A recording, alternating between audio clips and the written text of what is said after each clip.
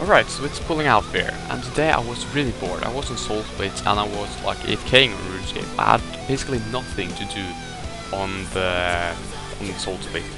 So I was in the staking arena and I kinda lost my whole bank and I had only my Torva set left. And as stupid as I am, I obviously went to uh, stake my my uh, set. And is that is that really that smart? I have no idea. So I'm starting up. I'm getting raped by this guy, and I'm losing my my Torva helmet, which is almost 600 mil at the moment. Torva has been uh, going up as hell. So uh, I was really mad about that. So we'll go all in. I'm now sticking my uh, Torva legs, and let's see how it goes.